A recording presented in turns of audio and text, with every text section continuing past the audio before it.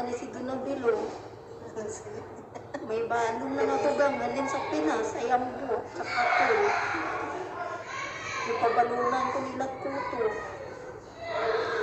Ano pa tuloy yung ulo ko? Di iyon.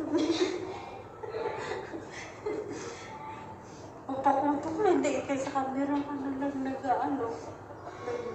Do feel ko sa gwapa sa akin. Feel ko lang dulo yan.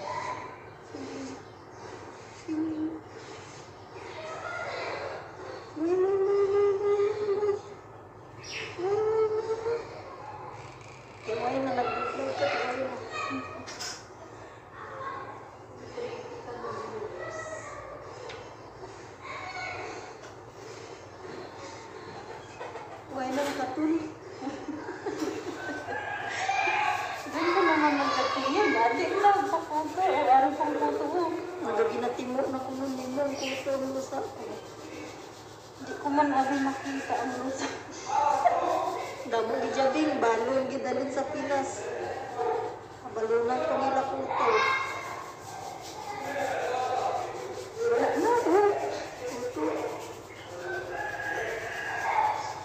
bagi jasa. Oh,